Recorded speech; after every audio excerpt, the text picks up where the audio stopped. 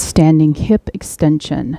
So you're going to hold on to a wall or a chair and you're going to bring your leg back like your heel is trying to go towards the ceiling. That's the left, and then this would be the right. And I want you to keep your chest up and your hips pointed forward. Rear hip extension.